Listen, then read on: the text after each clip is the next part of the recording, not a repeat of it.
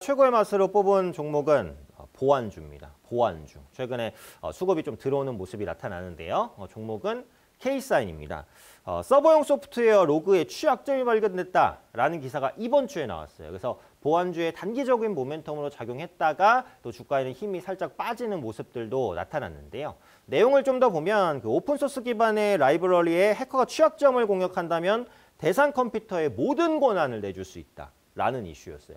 취약점을 공격하면 대상 컴퓨터의 모든, 네, 에브리띵이죠. 모든 권한을 내줄 수 있다는 건 엄청 충격적인 이슈입니다. 그죠? 그래서 이에 대한 보안을 어, 세계 이제 글로벌 IT 회사에서도 빨리 내놓고 있는 그런 상황인데요. 그러니까 이걸 통해서 알 수 있는 건 뭐냐면 지금 어차피 글로벌은 그 인터넷으로 다 연결이 돼 있습니다. 그죠? 네, 인터넷, 뭐 스마트폰, 컴퓨터, PC, 태블릿 어, 여러 가지 이제 장치들을 통해서 세계 어디와도 연결될 수 있고 세계 어디에서도 나를 연결할 수가 있어요. 그래서 그만큼 유기적으로 연결될 사회인데 생각보다 이런 연결고리가 취약할 수 있다라는 겁니다. 한두 군데만 해킹이 돼도 내 개인정보 털리는 것은 물론이고 그 정보가 이제 뭐 사기라든지 여러 가지에 또 악용될 수 있는 우려들이 있어요. 그래서 이런 리스크가 이번 주에 부각이 됐어요. 이게 정보화 시대는 확대되고 세계의 정보들은 많아지는데 보안은 그걸 따라가지 못하고 있는 것 같아요. 이런 부분들이 보안주의 장기적인 성장 동력으로 작용하고 있다라고 보시면 됩니다. 또 메타버스 시대의 보안 중요성은 엄청 중요해요. 이미 다수의 메타버스 플랫폼이 형성되어 있고요. 그 안에서 수많은 거래들이 이루어지고 있습니다. 가상세계에서 뭐 한국 부동산도 매매할 수가 있어요. 그만큼 메타버스 플랫폼에서는 다양한 자산들이 지금도 많이 생성되고 있고 많이 거래되고 있고 최고가를 계속해서 경신해주는 그런 모습들이 나타나고 있어요. 예전에는 가상자산의 가치가 없었습니다. 왜? 컨트롤 C, 컨트롤 V 하면 그냥 복사되니까요.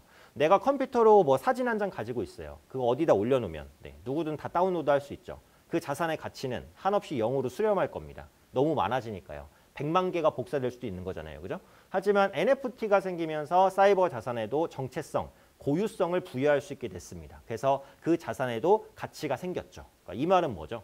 예전에는 이제 이런 보안이라는 게 이 오프라인 작품이라든지 오프라인 자산에만 있으면 됐지만 지금은 아니다. 네. 사이버 자산에도 보안이 엄청 중요해졌다. 그걸 해킹 당했을 때 피해도 엄청 날 수 있다. 역시 정보 보안주가 중요하다. 라는 맥락으로 연결이 된다라고 보시면 돼요. 이전에 가치가 없었던 사이버 자산의 가치가 생기면 그 사이버 자산을 보호하기 위한 기술도 반드시 따라와야 됩니다. 근데 지금 메타버스 시장의 성장 속도를 보안 속도가 따라오지 못해요. 앞으로 보안 산업에 대한 엄청난 투자가 필요할 거고 그 수혜는 정보 보안주가 있겠죠. 네, 보안주 꼭 주목하셔야 되고요. 블록체인 기반의 보안 시장도 성장을 합니다. 지금 케이사인 같은 경우는 블록체인 기반 보안 기술을 보유하고 있어요.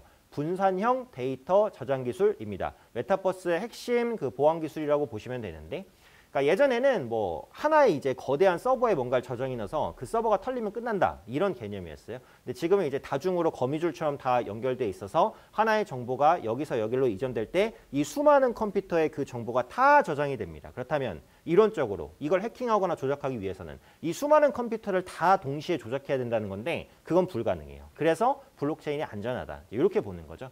케이사인 같은 경우에는 이 블록체인 보안 기술에서 상당히 월등한 업체라고 보시면 됩니다. 앞서 말씀드린 대로 어, 여러 대의 컴퓨터가 기록을 검증하고 해킹을 막습니다. 메타버스 시대의 핵심 보안 기술을 가진 업체다라고 볼 수 있고요.